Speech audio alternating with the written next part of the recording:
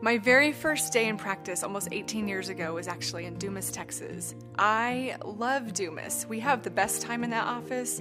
Uh, my patients are just fun and friendly. It's like a family up there. I have patients that come in sometimes and they just grab a cup of coffee and we sit around and shoot the breeze when we're in between patients. It is truly a family. It's a small town atmosphere. It is just one of my favorite things in the world is to, to spend my day up in Dumas.